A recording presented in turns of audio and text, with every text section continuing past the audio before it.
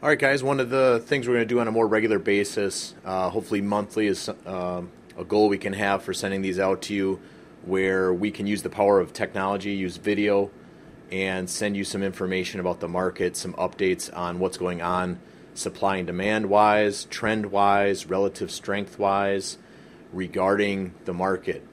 Um, the beauty of video is that you can sit down and watch it when it works for you you can pause the video, take a step away. Maybe you want to grab a cup of coffee. You can watch it when you want. Uh, another thing is you can share it with friends. Um, it's also picture based. You know, pictures are worth a thousand words, and so we can communicate better using a combination of audio and visuals going along with it. So we'll do this on a regular basis and dig into the markets. We'll discover some unique and important concepts as well as um, the plan going forward. So I hope you guys enjoy this let's go ahead and dig into what we're finding out going on uh, after this past month. As always, uh, presentations like this are for informational and educational purposes only. Shouldn't be used for using as a basis for investment decisions on your own. There are restrictions for term of use, and you can find those with the link provided below. A live link will be provided in uh, below the video itself. It's listed here on your screen, but then you can also click below the video on YouTube and find that exact link and read through it if you'd like. But the basic premise is you shouldn't be using this video as a purpose or a way to make your investment decisions. Uh, what we're doing is we're going through um, an educational piece and illustrating uh, what's going on in the market and giving you some examples for you to use and get a better understanding.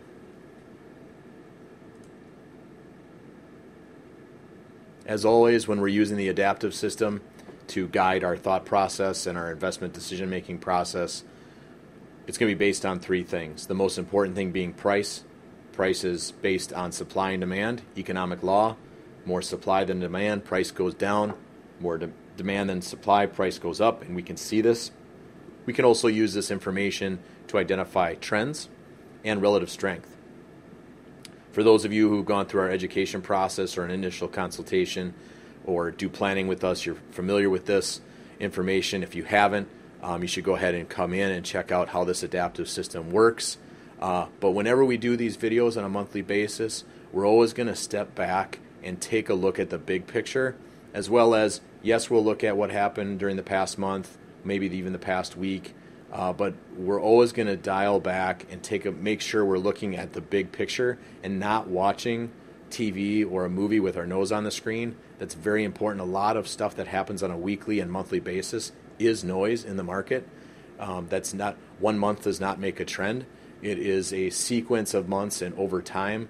And really, we look at 36 month periods of time, a three year window, and we get a really good gauge on what's going on in that time frame. And so we're always going to do that when we go through this process. We're going to look at some unique things in the short term, but we're also going to identify where we are in the big picture. So it's always going to involve price, it's always going to involve trend, and it's always going to involve relative strength. So speaking of the big picture and price, here is a chart of the S&P 500. It actually goes back in time uh, to you know the late 1990s. Uh, we could go back further, but for right now, this gives you a good gauge. We use the S&P 500. Some of you are probably familiar with the Dow Jones. Uh, that's one index you can look at that contains 30 of the largest U.S. stocks. S&P 500 is something that we use to look at. Um, it isn't necessarily representative of the whole market, but it did, does give us a good gauge. It's about 500 U.S. stocks that are currently traded we could also use something like the Russell 2000, which is even a bigger representation and probably a little bit more uh, uh, of a bigger picture perspective, understanding what's going on with the market. Because after all, it yes, it's a stock market, but it's also a market of stocks. So here we have the S&P 500 going back to the late 90s up through current date.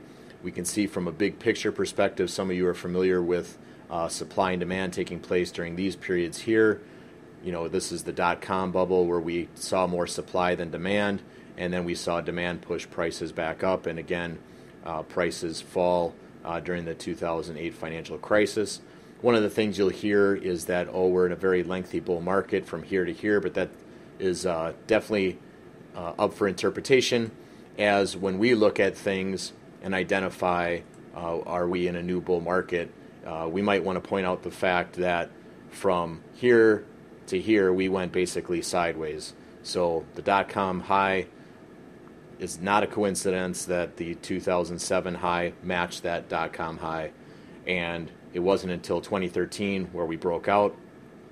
Big picture wise, uh, this correction here from 2015 into 2016 um, on the S&P 500 was only about 15%, but man, a lot of things underneath. Uh, that's why we look at the market as a whole, stock market as a whole. We just don't look at one index. I know the financial media and news sites like to focus on that because it's something easy to do and it can, you know, it's easy to something to communicate on a daily basis. But really, there's a lot more going on than just an index, and we'll get into that in a little bit. But this correction here was much deeper when you looked at different industries and sectors. Um, you know, for example, small caps were down over 20%. Energy was down uh, over 40% in some in some instances. Oil was down uh, dramatically. So this was a, a pretty uh, decent correction. It wasn't until uh, late last year that we broke above this level. And so, really, this bull market's, in, in our view, uh, relatively young. That is contrary to what you'll hear uh, in the financial media. There's many talking about this being an eight-year-old bull market. We disagree, uh, but everyone's uh, they're entitled to their opinion. But we think it's a disservice to say that the bull market is that long. But this is the big picture perspective. But as you recall, uh, this is a very there's a lot of noise here with price. And so, how do we identify trends? Let's take a look at that. So now we've overlaid some important information here. and if you've gone through our education process, you're very familiar with this. Uh, if you haven't, again, I encourage you to come in uh, and we can walk you through this and how this works. But basically, what we want to do is use price, which is the most important piece of data, to identify trends. So, how do we, what does that mean? What does a trend mean? How do we identify that? Well, quite simply, I don't use exactly what the adaptive system is using in this instance. Again, this is for illustrative purposes only and for education. But for simplicity's sake, to give you a conceptual idea of how we identify trend, quite simply here on the screen, this blue line uh, that's very smooth here, that is the prior 40 weeks of information. So at the end of each week on a Friday, we get a new data point for the S&P 500. We also get an average for the prior 40 weeks of information. So it's a smoother trend, it's a long-term trend. 40 weeks of information is the blue line. The orange line, uh, conversely, is a little shorter. It's about 10 weeks of information, and that represents, just like I said, the prior 10 week average. And so we can use these to identify and make some rules based on trends.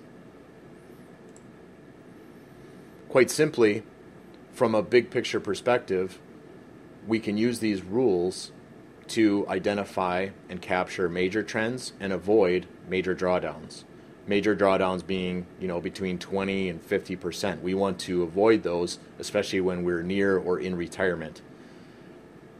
One of those rules, and again, this isn't exactly what we use, but it's a good representation.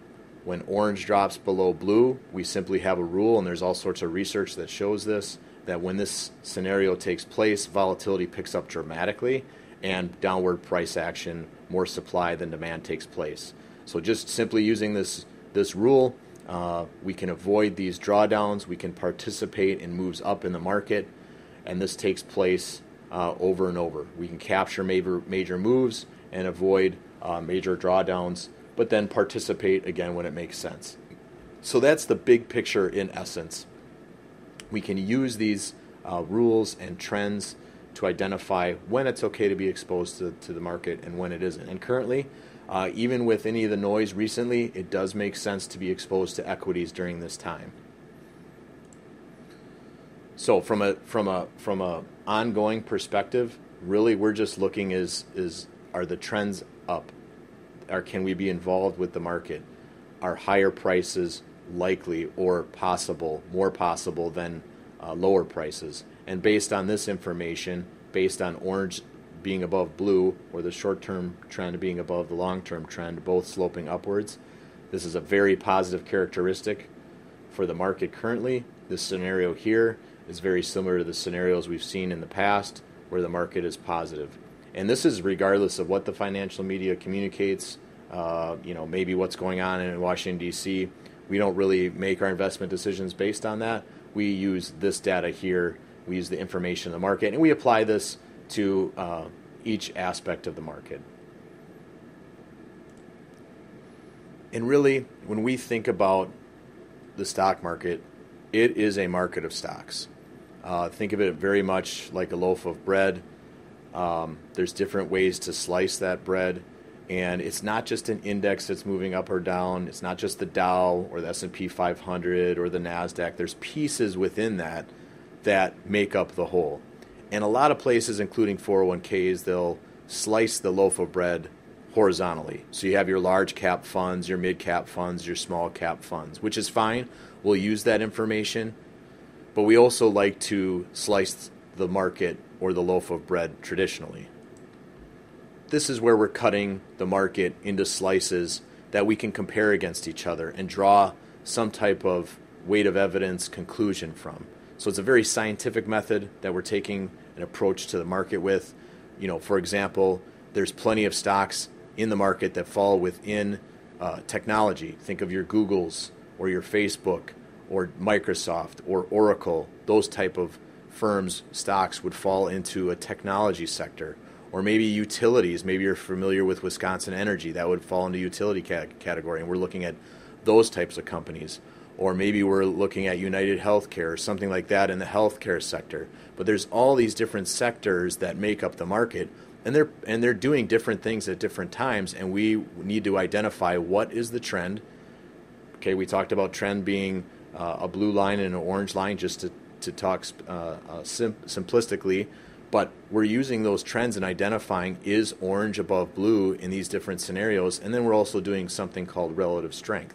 But we want to we want to look at the stock market very similar to this, where we're able to look at these different sectors individually, compare it to the whole, and see how is it doing.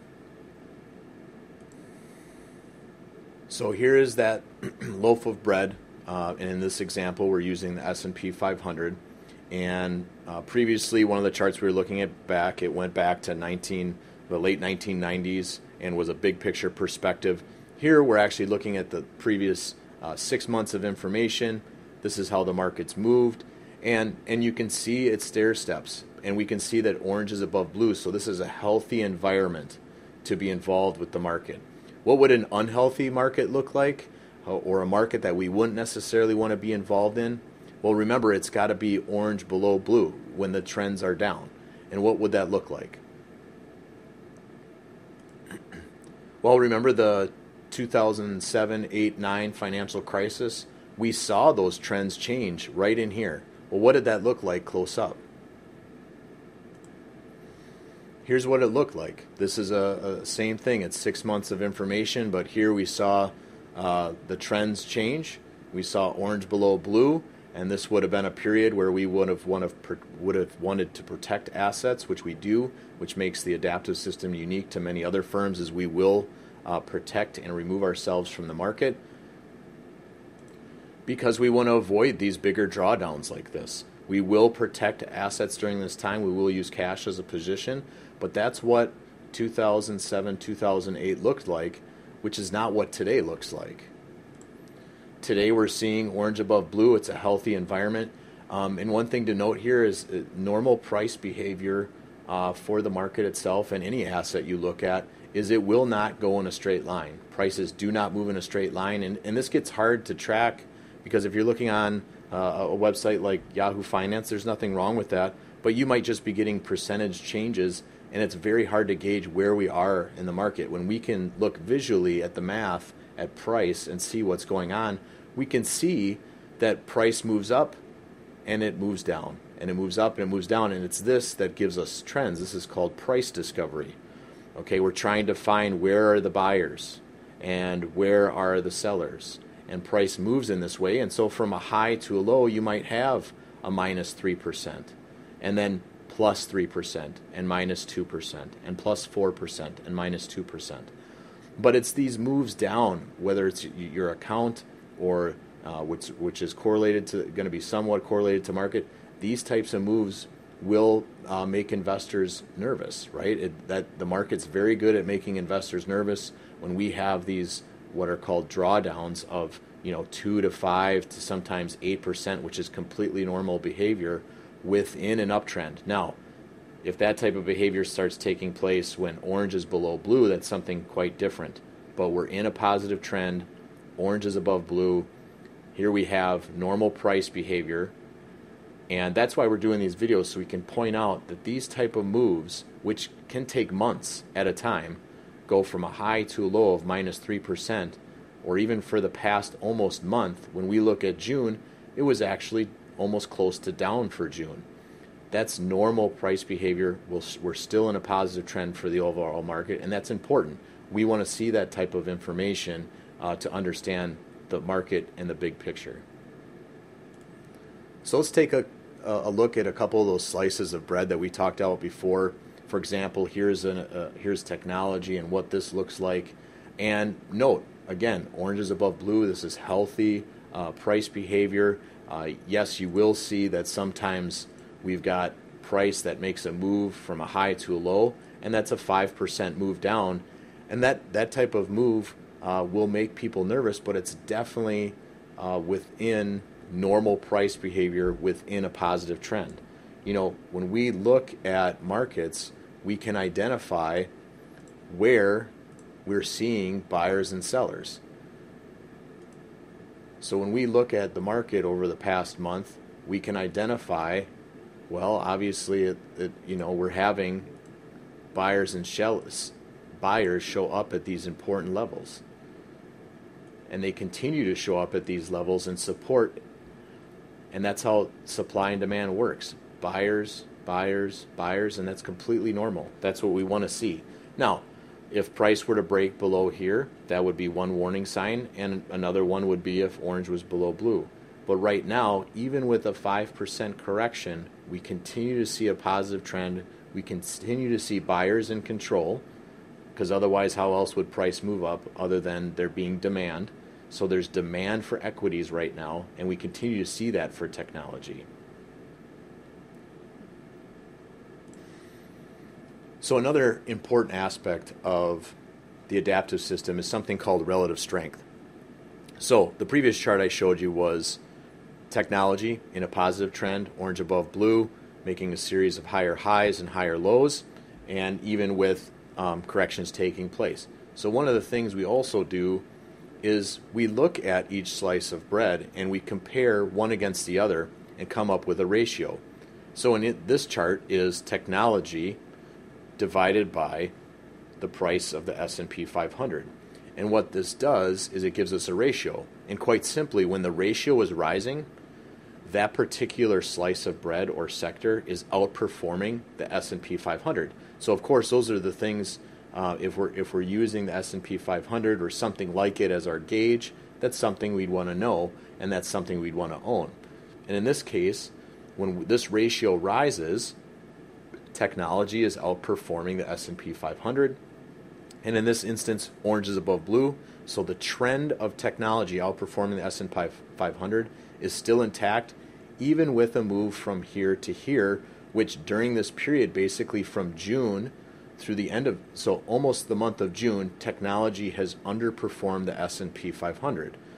But that doesn't mean it's not something worth owning because we can see it is in a series of uh, higher highs and higher lows, and it's normal price behavior to retest levels pr- uh, previously recorded where there were sellers. But the main thing is the trend remains up with this ratio. So the trend of technology outperforming the S&P 500 is intact. Orange is above blue, so it's something that can be owned. And so technology, which is over 20% of the S&P 500 itself, which is the biggest piece of the S&P 500. So if you think about again that loaf of bread, if it was the S&P 500, technology is the biggest slice of bread.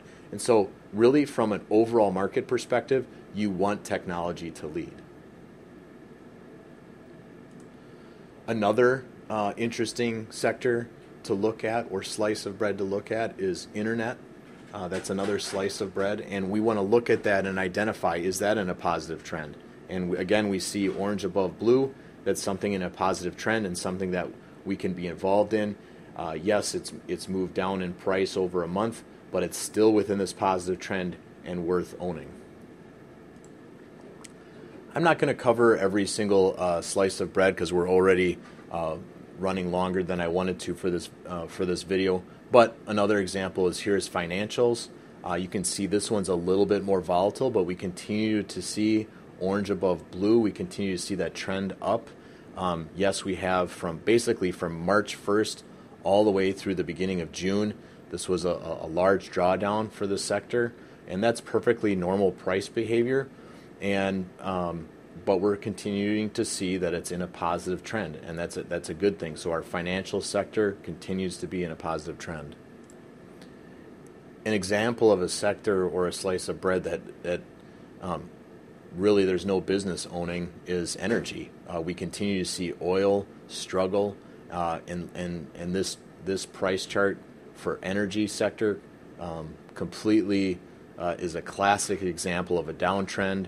We continue to see uh, lower prices over and over, a low, a lower low, another lower low, and the highs cannot exceed previous highs. That's classic discounting price behavior where there's more sellers than buyers or more selling urgency than buying urgency. Orange is below blue. And so currently, at this point, energy doesn't necessarily make sense to own. This can always change. And if the data changes, this could be a sector or slice of bread that is worth looking at. But if energy is in your portfolio, uh, really it shouldn't be. It doesn't make sense uh, with a downtrend like this uh, taking place this can always change and reverse back up from a, but from a, even from a big picture perspective we're seeing the trend is down and right now the sector is hands off. Going a little bit uh, in a in a in a different direction than this something that's based in the United States you know it being 2017 we have so much more access to investment vehicles that give us access to investments overseas than we ever did in the past and we should so we should take advantage of that and so we go through the process of looking internationally and, and seeing where are the positive trends, where is the relative strength, and right now one of those things that we're seeing is emerging markets. And emerging markets uh, for a while, and it's it's something that we'll hold in a portfolio for our clients. Uh, it, it's in a positive trend. Orange is above blue, um, and it again, it's not in a straight line. And really, from May, you could make an argument from May, it's really not gone anywhere. So for almost two months, this position has not really gone anywhere, but that's normal behavior. This this happens over and over where price discounts or moves sideways and then it moves higher. But as long as we're making a series of higher highs, okay, we continue to see higher highs and our lows where buyers are stepping in and buying continue to be higher okay, you can notice that we are in this positive trend in emerging markets is something, a space you could be in. Now, maybe um, a clue that we'd want to look at to see whether buyers are or buyers are actually serious is a level like this. Okay, something in this area where price has held above, it were price were to break below that, that would be step one warning, and then we'd want to be looking at is orange above blue. But right now, uh, emerging markets con- continues to what's called consolidate. Price will move sideways within this range. Now, it's not um, it's not unhealthy for this to happen. This is actually healthy behavior for the market. And when we compare this, when we do that relative strength analysis against, for example, the S&P 500, this very similar uh, scenario takes shape where orange is above blue. So, from a bigger picture perspective, we continue to see emerging markets outperform the United States. I've already gone too long, so I'll only cover one more. Here's Europe. I just wanted to cover this real quickly. We continue to see orange above blue for Europe when we do the analysis versus the United States. Same scenario, orange above blue. Now, it's not in a straight line. We are going to see areas where the market moves sideways. This is very similar to what's going on with emerging markets. We see this consolidation here, but we continue to see a series of higher highs and higher lows, which is the very definition of an uptrend. So we continue to see that this is normal price behavior. So this high is higher than this one, and this low is higher than this one. The trend remains up, so it, it makes sense to own it based on the data. Uh, price doesn't lie. We continue to see the trend be up in Europe, and we continue to see it that way against the United States. That can always change. It could change tomorrow. Uh, you know, it could change next week. A real good clue would be if, if buyers couldn't hold a level a level like this, where buyers have shown up in the past. Uh, but in the end, we continue to see the trend up there as well.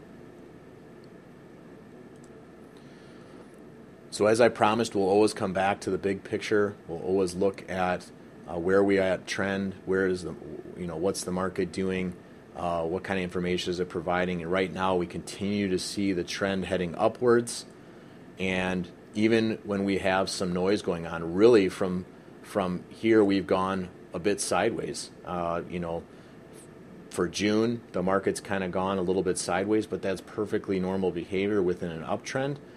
You'll even have periods when orange is above blue, where you'll have a move like this that could be 5 to 8%, and that's perfectly normal. But right now, the data continues to show that we're in an uptrend. Uh, you know, similar to a situation like this, which we want to, you know, this makes more sense to be involved in than when the data shows a downtrend and not wanting to be involved in the market. So we continue to see buyers stepping in and buying equities.